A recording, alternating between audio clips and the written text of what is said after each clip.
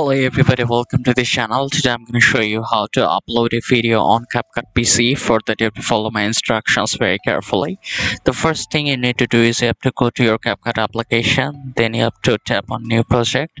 So a new project will be opened. Now I will show you how to import video as well as how to upload that video online like TikTok or it may be on CapCut itself.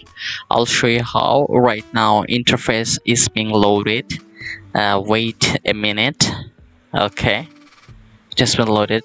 So now to import or upload any video on this CapCut you have to tap on import after tapping on import it will redirect you to your pc you can choose any of the folder or file if you want. Just tap on that particular file tap on open. You can see that it has been uploaded here. You can see it has been uploaded here. Again if you want to upload any other file you have to tap on the import again and you'll be redirected to your pc again.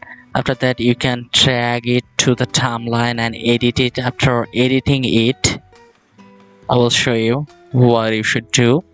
Tap on the export button then just export it. Now you can see that it has been exported to your particular file. Now you can upload your video to tiktok. If you tap on tiktok you have to sign into your tiktok account. You can also upload directly to your youtube video here as well as you can also share it. If you tap on the share button you can share it to any other people with the TikTok application as it is official for CapCut. This is how you can upload the video from CapCut as well as in the CapCut. And if this tutorial helped you like this video and don't forget to subscribe to my channel. See you in the next one.